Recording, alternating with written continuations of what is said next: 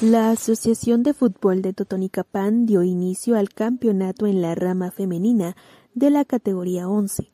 Los equipos que aún quieran participar pueden abocarse a la página de Asofutoto. Refirieron los organizadores que este es el primer campeonato en la rama femenil, lo cual marca la historia del fútbol en la localidad.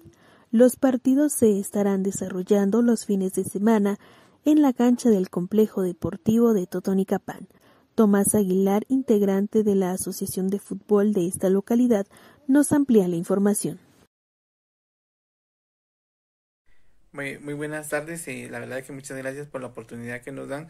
Es para informarles de que eh, dio inicio el campeonato femenino eh, aquí en Totonicapán del fútbol 11 y hacemos la invitación para todas las chicas que quieran eh, formar su equipo de fútbol 11 lo pueden hacer y ahí están las páginas de, de, la asociación de fútbol donde se les pueda dar información. Y si no pueden pasar a las oficinas de Futoto ahí tendremos los cuadros para poder em, brindárselo.